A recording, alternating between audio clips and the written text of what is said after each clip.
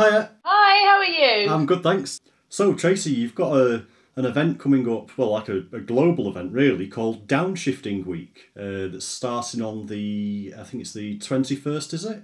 Uh, could you tell us a bit more about that?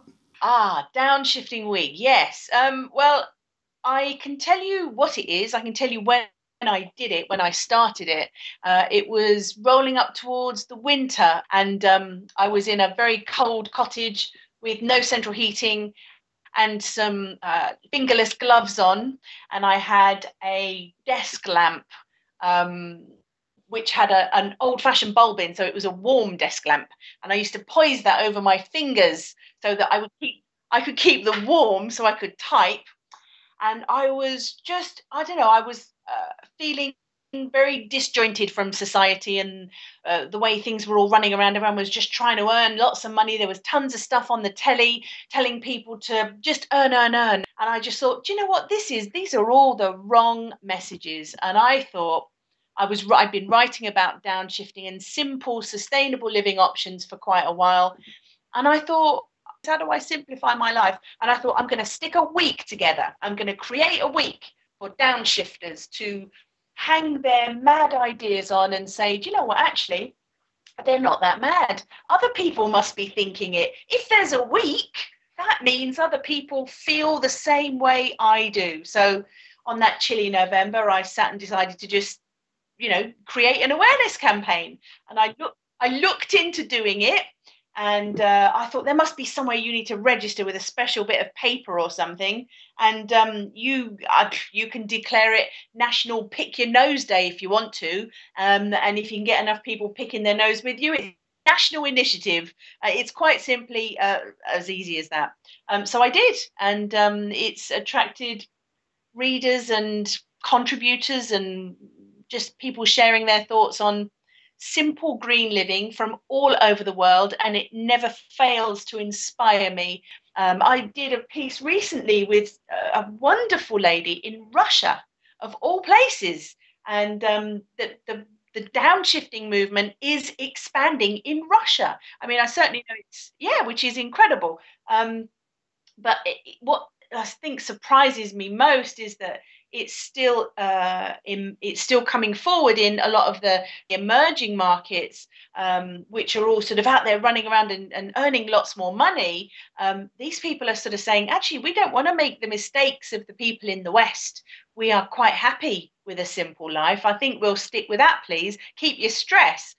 So is even you know, and India and places like that. It's coming. It's it's it's got a, a, a strong foothold everywhere. Um, there's not a country uh, that I'm aware of that it really doesn't touch. So downshifting is, um, yeah, going to continue to to get bigger.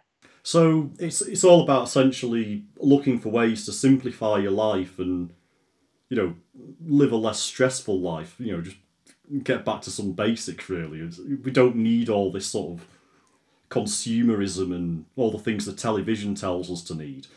Uh, most of it's unnecessary. Very true. Um, uh, the trouble is, is that from every uh, angle of society, all of the media angles generally um, of society, magazines, newspapers, if you read them, um, telly, if you watch it. I don't read uh, read magazines or, or newspapers, and I don't watch the telly. I only listen to the radio, and that's true. Um, but if you do, then you will be victim to the seduction they come along and they tempt you and they say, if you have this widget, your life will be made infinitely better. And if you're mad, you're sucked into it and you believe it. And I think the problem is, is it's on billboards everywhere. It's everywhere. You know, I was in London recently for the London Book Fair and could not believe the size of the adverts. It was like it was like a scene from Blade Runner. what is going on in London? Oh my God, it's everywhere. And so you know when you kind of believe that that's normal life when you're when you're brainwashed into thinking this is what everyone does then you go along like a lemming or a sheep and you just do what everyone else does.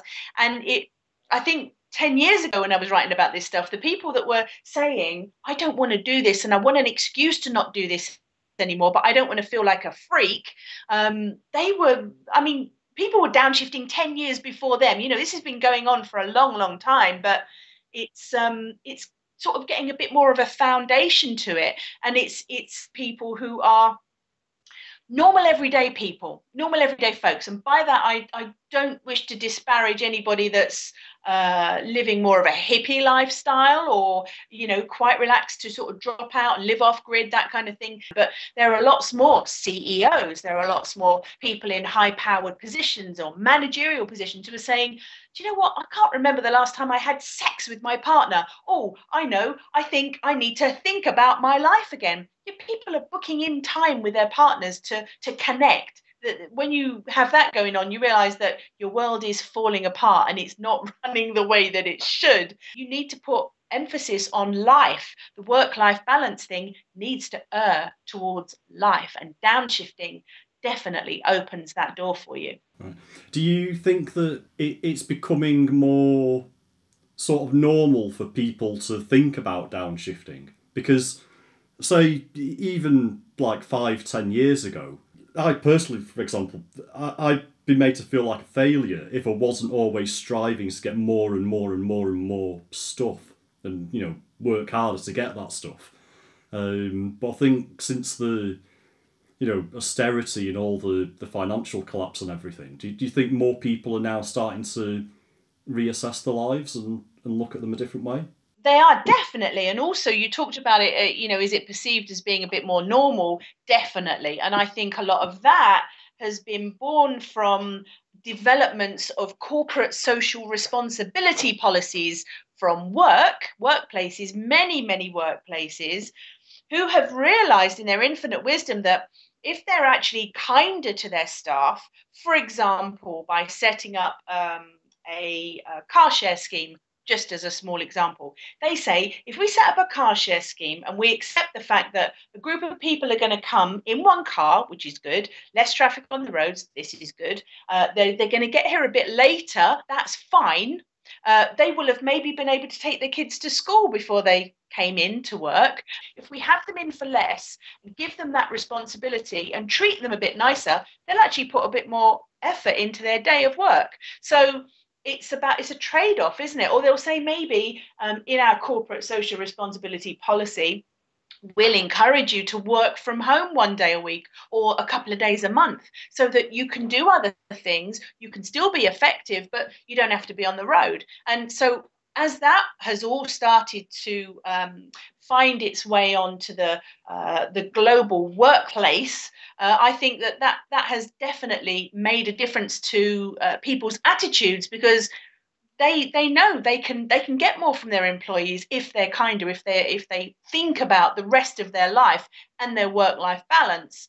Um, so that is normalizing it because if big companies are doing it and allowing it, then it must be good, it must be true, and there must be a benefit to doing it. Yeah, I, I know there's um, a lot of the sort of the the younger companies or the sort of small to medium companies are, are trying to do these things, giving people like uh, much more flexible arrangements in terms of you know if they're full time staff, they, they can sort of choose their hours a bit a bit more fluidly and that kind of thing.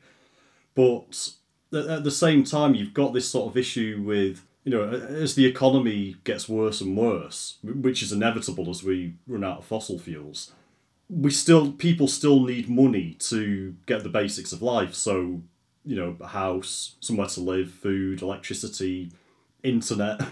Yeah, you're right. You you do have to have money. I think that anybody that thinks that downshifters are dropouts haven't got a clue. Downshifters are the most entrepreneurial people of all. They know how to make all the money uh, work out. They know how to, to do the budgeting um, because they've they've they've got a, a, complete understanding of what money is and how it works. I think that um, there's a, a simple strapline that I've used to describe downshifting for many years, and it holds true. Um, the more money you spend, the more time you've got to be out there earning it, and the less time you get to spend with the people you love. That's it. That's it in a nutshell. So if you take that that simple sentence and you embrace it, you give it a positive embrace instead of saying, oh, I'm 100 quid down this month because I didn't take that overtime because I took the kids to school or whatever the scenario is. Um, if you embrace it and say, do you know what? I managed to take the kids to school and they were dead chuffed that I was there. It was just lovely. I didn't have to pay a childminder, but my money's down oh well never mind i, I saw the kids I, I, saw their pictures on the wall at school you know there are so many benefits to to to pulling away from earning the money um, and actually having life. Uh, yeah, and that that definitely rings true. Do, do you think though that there's a risk that as the economy gets worse though, because you've got two sort of effects that are taking place at the moment. On the one hand, you've got things like technological unemployment. So more and more people are being replaced by you know machines or software, websites, things like this. Yeah. And at the same time, you've got the, the general downturn in the global economy due to the things like peak oil and peak gas and, and so on. There's less and less full time jobs, and a lot of the part time jobs that are cropping up don't even pay a living wage. So people might be working a full week and only just scraping by with, with the mere basics of life. Um, because the you know the basically paid a pittance, and a lot of people are on these things called zero-hour contracts. Yes, I know, I know, I know. That is that is quite terrifying. I um, came across that earlier this week. Um, I I take both of your points, and uh, I would say that, that, that all of it, downturn in economy, that's going to continue on. The stuff that's occurring as a result of peak oil, which I think is going to have a massive impact. I mean, I'm not a doom and gloom girl. Believe me, I am not. But I know we're going to have power shortages, we're going to have fuel shortages, we're going to be colder, we're going to have to put jumpers on. Lots of stuff is going to change on our landscape, on our physical landscape. We are going to see those drones out there delivering things where people could have had a job to do a simple delivery job. We're going to see machines overtaking in a completely terrifying way, if you ask me. Um, uh, I live in a uh, in the sticks really um, we have a couple of banks in our high street one of them has recently closed it's not my bank and i thank goodness for that because um, i like going in and speaking to my people but it has closed because everybody's using the hole in the wall outside. Where's where's the logic in that? You know go inside. If there's a queue queue up and talk to the person in the queue. You know keep those people in their jobs. We need people in their jobs. We we we cannot let ourselves be swallowed by advances in technology. Um, and i'm not a luddite don't get me wrong. I'm talking on a computer to you. There has to be a level of um, technology that sustains us and keeps us all going. But i think things are being developed for development's sake. And they're just i mean it's just i i hate to say it and i use this analogy a lot but it's terminator creeping up on us. And the whole skynet thing the whole intelligence you know the more i read about computers sharing their knowledge and their their this one unimind that will teach other robots and other computers how to behave how to how to give us their best service. I just think it's terrifying. It's quite mad. Yeah that's the um the, the thing that they're using for uh, i think is it military robots and stuff like that as well? Yeah there are lots of them. There there are lots they're doing all sorts of things, weird and wonderful things. And I just think it's a step too far. I really do, for many, many reasons. We're forgetting, you know, you talked earlier on this um, conversation about money. I think uh, one of the reasons why we've become quite uh, why why the credit card thing, I, which I think still has a bit of a too big a grip um, on us, why the credit card thing has seduced so many people, and that's because they've forgot what money looks like. And uh, when I went to uh, work, when I got my first job, I would come out of my job at the end of the week on the Friday and I would draw the money out of my bank to pay to my mum for keep, for, for my put aside for my train fare to get to work the next week or the next month or however I was doing it. And my my money, my physical money for me, for whatever I needed. And I saw that money in my hand. I had a feel of, you know, I knew what it meant to have money in my hand. And I think the trouble is, is everything is store cards. Everything is and even that is disappearing. Now it's like you wave a piece of plastic at a machine and it will take your uh, take your money away. And what terrifies me greatly is that this is money is being further removed from the hands of our children by way of this biometric paying. Um, you know your kids have to sign up to have their fingerprints uh, stored on the school's computers system so that they can pay for their school lunches. Not in my house not in my house i tell you now uh, they go into school with a lunch. Um, but i don't want them paying for things with their fingerprint for so many reasons. They're just losing what money is. And it's difficult to fight against the machine when when everybody is saying this is the way it's going. It doesn't have to. You can put your foot down and say actually no i'll stick with making my own lunch uh, and having money in my hands. But it's it's your you know you're going against the the grain by doing that. But i believe that it's worth fighting for i really do yeah i mean personally i'd, I'd be much happier with a world that didn't have money you know essentially money's just a, a shared delusion that we've inherited from our ancestors quite. I'm sure you probably know my dear friend um, Mark Boyle, the moneyless man, who has a, a moneyless manifesto,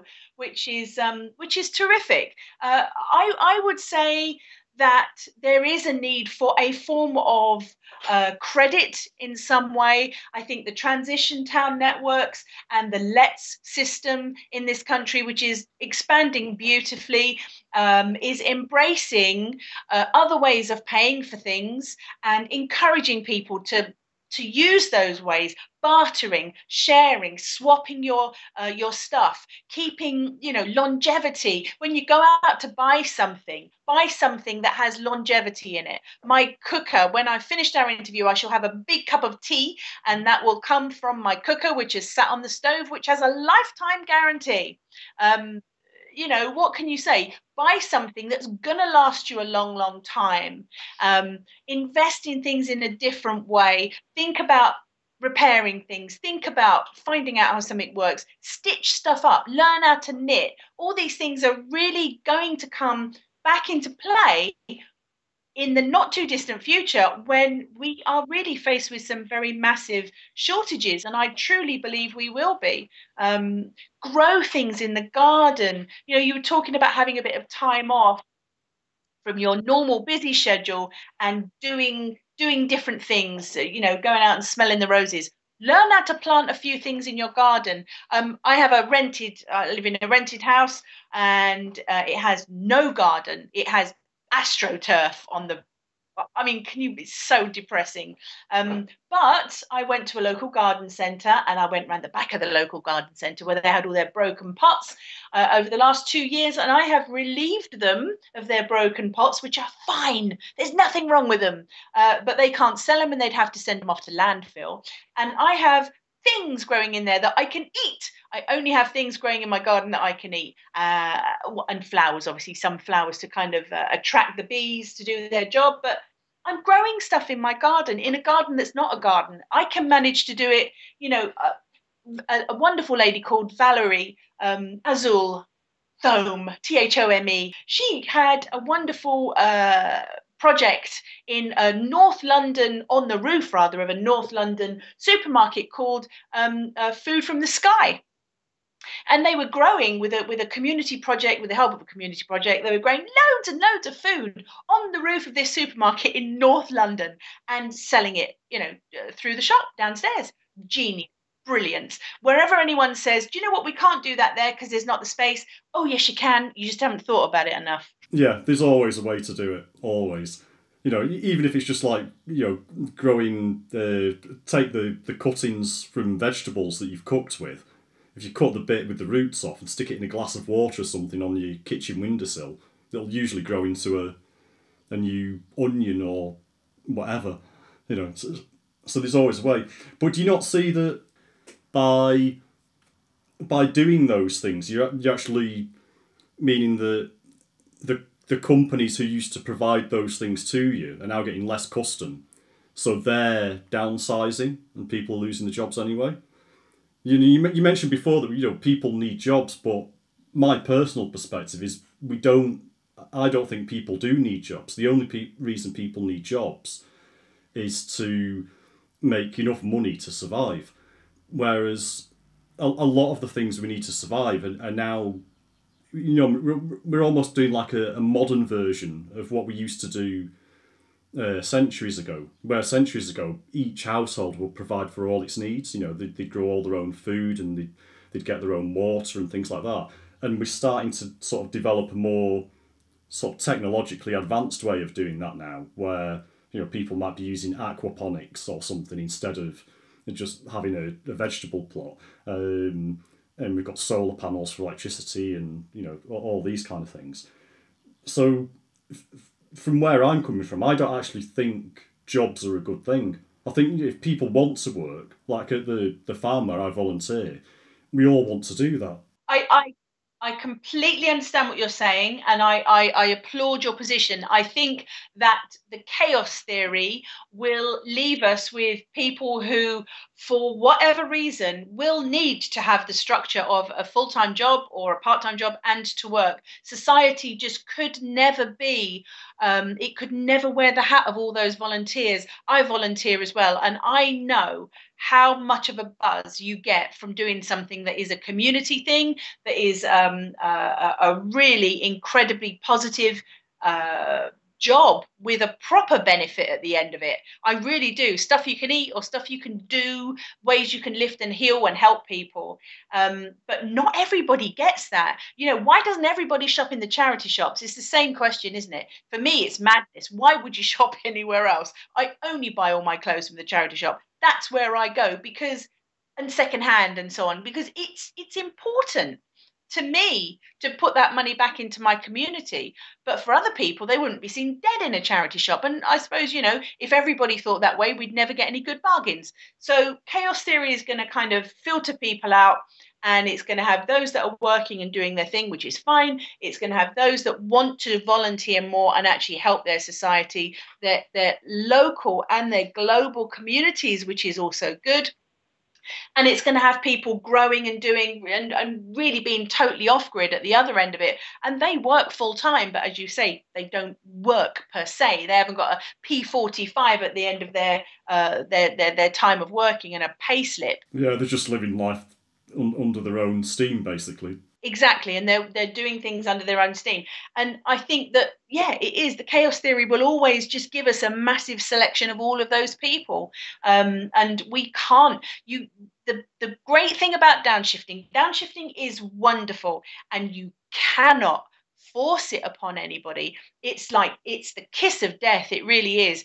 It, the difficulty comes when you have a couple traditionally a couple maybe he's the one at work and he's never never at home. She's the one at home. She doesn't want all the stuff. She wants to see her husband. Like i say she wants to they want to have time together. And he's too busy running around chasing the money and he's buying all these gifts for the kids. And so the kids are kind of getting disjointed from the family unit because they're never together and blah blah blah. But hey they go to barbados for three weeks a year or whatever it is and they've got that the, the, the spare house and the boat and all the rest of it, all the gadgets, and their life is soulless. And she wants to ditch that stuff because she wants to have a connection with him. And he just thinks, I can't do that. If I get off this, then we're not going to have the stuff and no one's going to be happy and blah, blah, blah.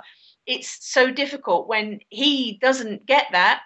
In this example, it's a he, she, and she really does you've got two people connected but on totally different pages. You have to sing from the same hymn book. I think when you um when you do everything is possible. You know i mean absolutely everything uh, everything. Where you live how you live what you eat what you grow what you do what you spend and what you don't spend and the benefits you get from not spending and having better quality love with your partner love and connection with your children and your families and your friends. You have better mental health and well-being because you stop long enough in your day to have a five minute meditation just to listen to nothing other than the birds singing. You bake your own bread, you get your hands dirty in the soil, you do really simple, basic, very basic Neanderthal things. Uh, you know, the stuff that they would have done back then. You see a nice bit of roadkill and think, do you know what, that'll make a lovely pie, and make the best of gifts that have been put in front of you. I think we need to stop and look at the abundance that surrounds us and see what what bit of that abundance turns us on. Is it a food thing? Is it a time thing? Is it a, a, a better relationship thing? Something will work for you. It will turn you on to that way of thinking. And if you just dip your toes into trying that thing um, and embrace it and work out how you can achieve more of that thing, then that will motivate you to work towards it. And it will also help you to fight, not fight, but combat the resistance of a partner that may be, uh, you know, coming from, like I said, um, a different page. So, you know, there's probably going to be people listening that are thinking, you know, I'd quite like to work a bit less and, and do more, spend more time doing things they enjoy that haven't sort of made that first step yet, what would you say to them? I would say if they really are in those early stages, then they need to pick up a couple of the suggestions that are on Downshifting Week's website. Um, it's uh, Downshifting Week is totally non. There's no profit. There's no money in it. It's I'm not trying to sell anything. I don't have a book or a CD that you could buy and get it all in a box. Um, it's just suggestions. You know, go on there and try them. But I would say something as simple and as massively symbolic as cutting up a credit card cutting up a credit card, open your wallet and look at the stuff inside your wallet. If you are thinking, if you're listening to this and thinking, oh, I'd like a little bit of that action, open up your wallet, look inside it. Have you got store cards? Have you got credit cards? More than one? Have you got two? Have you got another one tucked at the back just for good measure, just in case? Take them out of your wallet, get the scissors and slice them up. It's a big thing to do. And I realize you can you can go two or three days down the line and then think, do you know what? I'm going to ring them up and get it. I'm going to get it back. I'm going to get it sent in the post. I'll say I've lost it. Um, if you cut it up into pieces, what you're saying to yourself is i'm going to make more of an effort to live within my means i'm not going to to buy that stuff that's going to put me into debt and then oh you know i'll pay it back i'll, I'll get it paid i'll get it paid just cut it up don't have it you don't need stuff. You need a shirt on your back, um, uh, you need some food in your belly, and you can do those things on a real, real budget. You can. You can do it on a real, real budget, but get there slowly. Spend less money. Like I said, the more money you spend, more time you've got to be out there earning it, and the less time you get to spend with the people you love or doing the things that you love. And that should be a good enough motivation to get going with spending a bit less money of all the, the sort of things that you've done over the years, is the one that sort of stands out as the the thing that you you're sort of the most pleased with?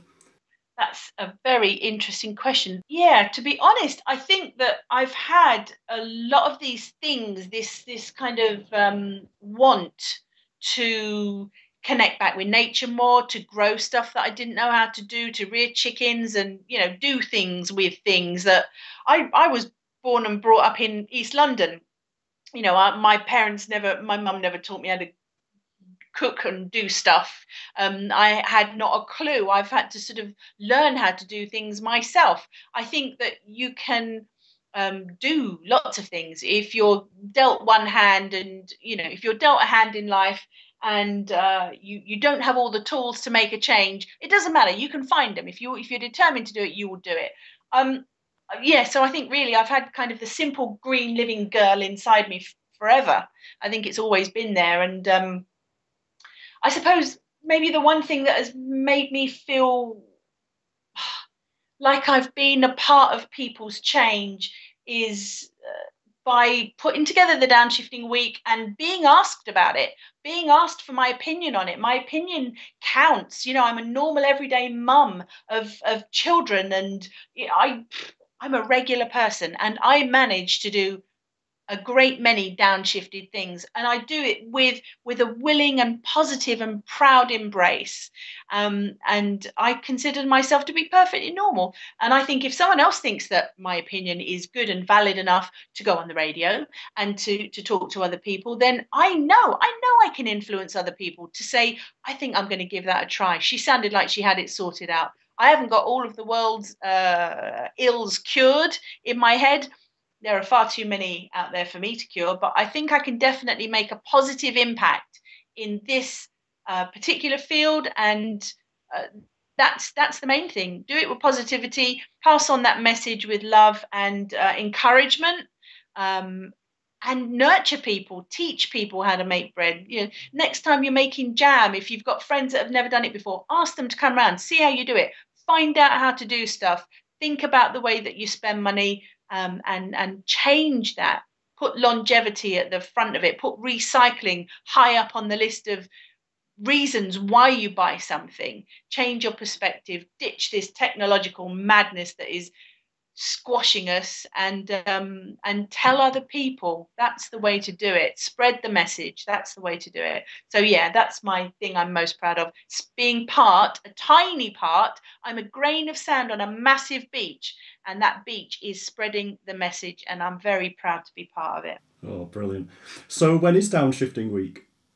It is the last full week of every um, every April, so it's 21 to 27 this year, and uh, yeah, my suggestions are for you to have a look at the website, which is downshiftingweek.com. Um, there's a list of various suggestions on there. Find something that makes you go, oh, that's a good idea, and have a go on the first day. And if you like it, and if you like how you feel, try something else the next day. And equally, move on through the week and keep your focus nice and simple. Don't give yourself too high a target for that period of time just just embrace it gently and get to the end of it and assess yourself assess how it made you feel to do those things you know another suggestion is book a half day off work and go out with your partner or yourself or your family whoever you want to go out with go out with someone you really like and do something other than DIY. Don't have half a day off and then go and clean the car.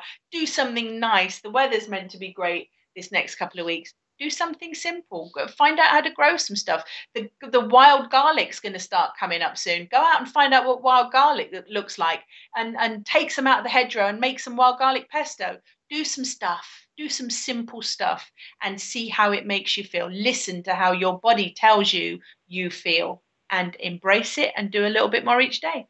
I think that'll hopefully motivate a lot of the listeners to, uh, you know, just take a look at them, you know, look at the lives and and think, how can I make this a bit simpler and enjoy life a bit more?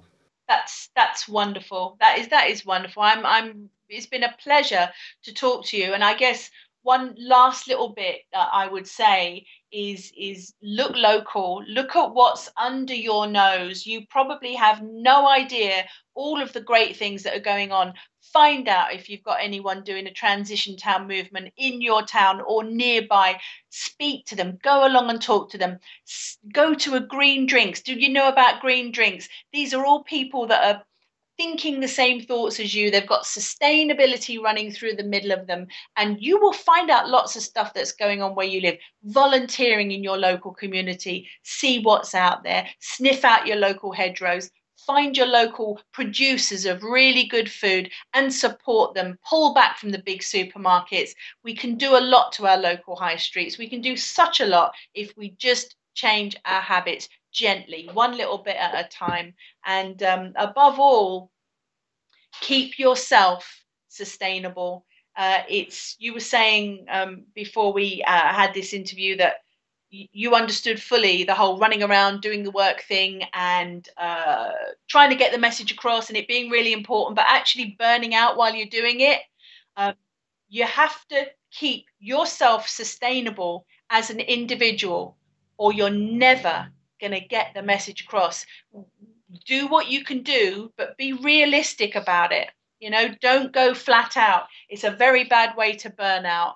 Um, and yeah, just just just kind of think about yourself. Keep yourself sustainable. That's the key to it all. Okay, Tracey, that's been fantastic. My pleasure. And I hope we can maybe speak again uh, sometime in the future. You can call anytime you like at all, uh, and I'll just remind myself to get a very large cup of tea in before we start. Yeah. okay, thanks, Tracey. You're welcome. See you.